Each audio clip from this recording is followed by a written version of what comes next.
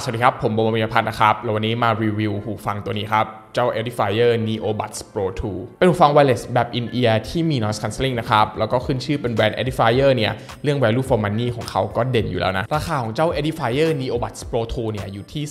4,590 บาท หาซื้อได้ที่ร้าน 425 degree นะครับ ในราคาเท่านี้เนี่ย Neobuds Pro 2 ก็ถือเป็นไลน์ที่พรีเมียมขึ้นมาหน่อยของแบรนด์ Edifier นะความพรีเมียมขึ้นเนี่ยเราก็เห็นได้เลยจากอย่างแรกนะครับก็คือเรื่อง build quality กับดีไซน์วัสดุของตัวเคสกับหูฟังเนี่ยก็เหมือนจะเป็นพลาสติกโพลีคาร์บอเนตนะครับแต่ว่าตรงผิวสัมผัสของมันเนี่ยมันก็คือจะเป็นแบบด้านๆนะครับเป็นพลาสติกที่ผมรู้สึกว่ามันมีคุณภาพอะ่ะเหมือนเป็นพลาสติกที่ใช้ทำพวกคีย์บอร์ดพวกเมาส์พวกอ c เซสซอรีอะไรพวกนี้นะครับซึ่งส่วนตัวบอมเนี่ยบอมก็ prefer finish ที่มันเป็นด้านๆแบบนี้มากกว่าพลาสติกที่มันเป็นแบบเงาๆนะครับเพราะเวลามีรอยเนี่ยมันจะเห็นได้ชัดน้อยกว่า แล้วผิวสัมผัสเวลาจับเวลาถือเวลาใช้ในชีวิตประจำวันเนี่ยมันรู้สึกดีมากกว่านะครับแถมเรื่องรอยนิ้วมือเนี่ยก็คือเห็นยากกว่าด้วย ถ้าเรามาเทียบกับตัวที่ budget กว่าหน่อยของ Edifier เนี่ยก็คือจะเป็นตัว W320TN ที่ผมเคยรีวิวไปแล้วนะครับแต่วัสดุที่ทำให้มันเป็นด้านๆใน Neobuds Pro 2 เนี่ยมันก็ทำให้มันดูพรีเมียมขึ้นอย่างที่ผมบอกไปเลย แล้วเรื่องของดีไซน์เนี่ยในเจ้า Neobuds Pro 2 มันก็ดู unique มากกว่านะครับ มันดูเป็นดีไซน์ที่มี character มากกว่าเจ้า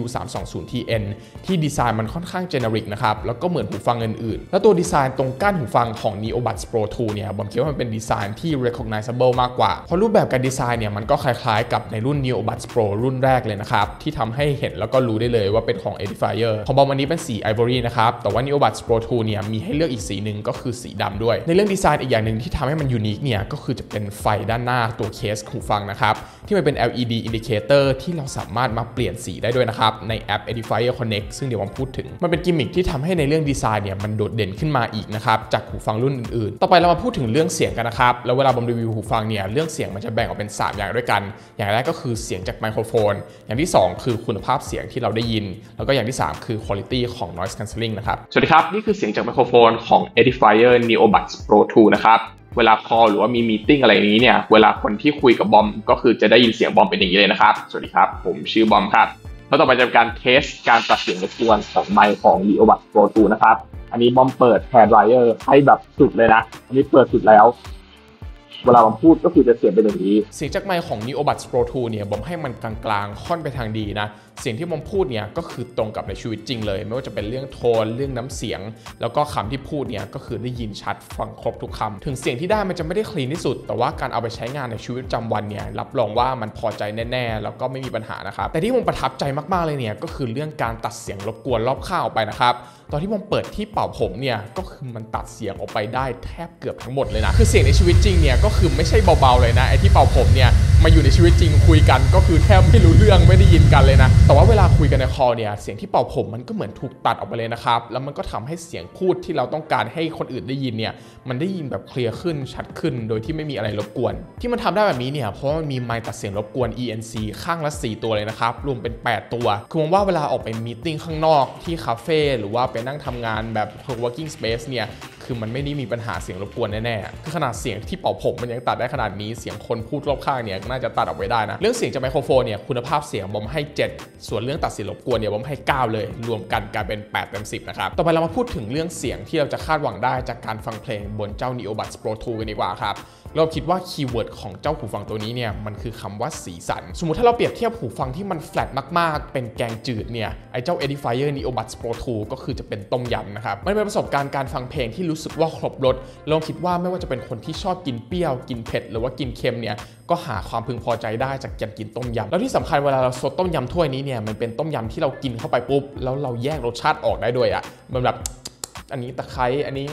มะกรูด อันนี้พริกก็คือสิ่งที่ expect ได้จาก Neobuds Pro 2 เนี่ย จะเป็นเสียงที่ครบเครื่องนะ มาทั้งสูงมาทั้งกลางมาทั้งต่ำแล้วก็เน้นไปทางต่ำนะเวลาที่ผมอธิบายเสียงที่ได้จากหูฟังที่มันค่อนข้างครบเครื่อง balance อย่างนี้เนี่ยผมจะบอกว่ามันกลมๆใช่ไหมครับแต่ว่าไอ้เจ้า Neobuds Pro 2 เนี่ยมันก็กลมเหมือนกันแต่มันไม่ใช่แค่กลมอะคือมันเป็นกลมใช่ปะแต่มันเป็นวงกลมที่มันมีแบบหยักๆรอบๆระเบิดออกมาด้วยอะมันเป็นเสียง balance ออกไปทางเบสที่ผมคิดว่ามันมีความน่าสนใจ แล้วก็มีสีสันหรือว่า color ของเสียงเนี่ยมากกว่าหูฟังตัวอื่น ส่วนหนึ่งว่าคิดว่ามันเป็นเพราะว่าเสียงที่เราได้ยินจาก Neobuds Pro 2 เนี่ยมันแยกออกเลยนะครับ ว่าเสียงร้องเป็นยังไง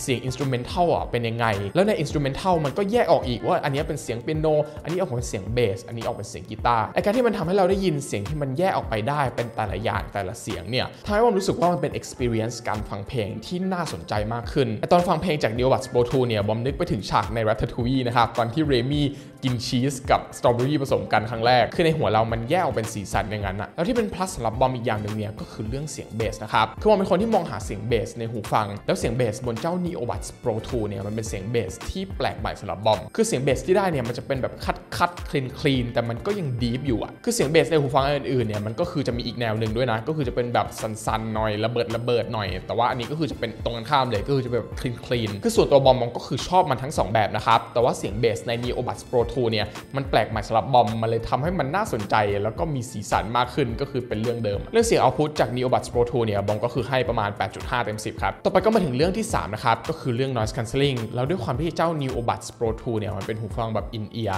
การตัดเสียงรบกวนออกไปเนี่ยมันก็คือทำได้ค่อนข้างโอเคเลย คือตอนมันเทสการล้างมือเนี่ยเรื่องเสียงที่มันตัดออกไปได้เนี่ย บอมคิดว่ามันประมาณ 80%ของ AirPods Pro 2 ของบอม สิ่งน้ำที่มันตัดออกไปเนี่ยก็คือได้ประมาณ 80 หน่วยจาก 100 หน่วยของ AirPods Pro 2 นะ แต่ถ้ามาพูดถึงคุณภาพของการตัดเสียงออกไปบน Neobuds Pro 2 เนี่ยบอมยังรู้สึกว่ามันยังไม่มนมนอะคือตอนตัดเสียงไปเนี่ยบอมรู้สึกว่ามันตัดเสียงแบบแข็งๆแล้วอีกอย่างหนึ่งที่บอมสังเกตเนี่ยก็คือเสียงพิชของเสียงที่ถูกตัดออกไปเนี่ยมันเปลี่ยนไปนิดนึงนะเหมือนนอกจากมันจะตัดออกไปแล้วเนี่ยมันยังมีแบบปรับพิชนิดนึงด้วยให้มันแบบเป็นเสียงสูงขึ้นนิดนึงอะคือในด้าน practicality การใช้งานจริงของการตัดเสียง noise Canceling เนี่ยมันใช้งานได้เลยครับ คือมันตัดออกไป 80%เลย แต่ในเรื่อง quality เนี่ยมันก็ยังมี room for improvement อยู่นะ แต่ก็ได้แหละครับบงกำลังเทียบหูฟังราคา 4,500 บาท กับหูฟังราคา 9,000 บาทอยู่นะ คือมันต่างกัน 2 เท่าก็ quality มันก็น่าจะต่างกันอยู่แล้ว เรื่อง noise cancelling เนี่ยบงก็ให้คะแนนมันประมาณ 7.5 เต็ม 10 นะครับ แล้วจริงๆการตัดเสียงเนี่ยมันมีมาให้ถึง 6 โหมดด้วยกันนะ ตั้งแต่โหมดปิด noise cancelling โหมดการเสียงลม โหมดเปิดให้ได้ยินเสียงคนรอบข้าง แล้วก็โหมดการตัดเสียงแบบน้อยกลางมากนะครับ และอย่างอื่นๆที่ทำได้ในแอป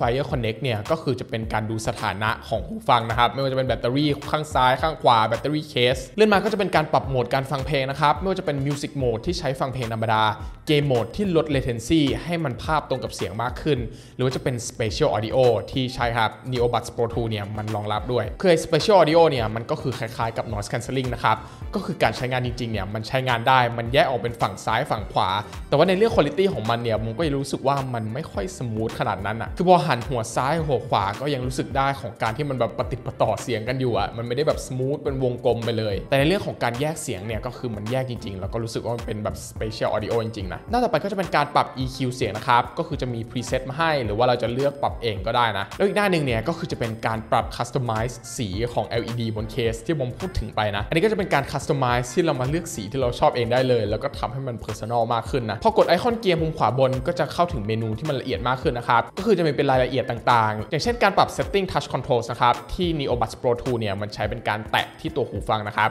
ก็คือจะเซตได้ว่า Double Tap เป็นอะไร Triple Tap เป็นอะไร แล้วฟังก์ชันเนี่ยก็คือตั้งแยกเป็นซ้ายขวาได้นะ แล้วก็ยังสามารถเซต sensitivity ของการแตะได้ด้วยนะครับ คือแบบ default แบบ medium เนี่ย บอมยังรู้สึกว่ามันกดยากไปนะ ก็คือปรับเป็น low มันก็ดีขึ้น แล้วเรื่องการ connect ของ Neobuds Pro 2 เนี่ย ก็คือยังไม่เจอปัญหาเลยนะครับ เพราะว่ามันมี fast pair นะ ก็คือพอ connect ใน Bluetooth ตั้งแต่ครั้งแรกไว้แล้วเนี่ย ครั้งต่อๆไปแค่เปิดเคสใส่หูฟังก็คือมันเชื่อมต่อได้เลยนะแล้ว rating ของ battery life เนี่ยก็คืออยู่ที่ 22 ชั่วโมงนะครับ แบบที่ไม่เปิด noise cancelling แต่ว่าถ้าเปิด noise cancelling เนี่ยก็คือจะอยู่ได้ประมาณ 16 ชั่วโมง แล้วตอนชาร์จก็ชาร์จด้วยพอร์ต USB-C นะครับ จาก0ถึง100 เนี่ยก็ใช้เวลาประมาณชั่วโมงครึ่ง เจ้า Edifier Neobuds Pro 2 ก็เป็นหูฟัง True Wireless ที่มี noise cancelling ที่เป็นอีกออปชันหนึ่งเลย ที่ผมคิดว่ามันคุ้มค่า แล้วก็เหมาะกับการใช้เป็นหูฟังแบบ daily ด้วยเสียงจากไมโครโฟนที่ตัดเสียงรอบนอกได้ดีมากๆ แล้วก็เสียงคุยที่ถือว่าโอเค แล้วก็โปรไฟล์เสียงที่ครบรอบด้านหนักไปทางเบสแถมเสียงแต่ละอย่างเนี่ยมันถูกแยกออกมาให้เราได้ยินทำให้เสียงโดยรวมเนี่ยบอมรู้สึกว่ามันเป็นประสบการณ์การฟังที่น่าสนใจมากขึ้น แล้วก็มีสีสันมากขึ้น แล้วเรื่อง noise cancelling ก็สามารถตัดเสียงรอบข้างออกไปได้แบบโอเค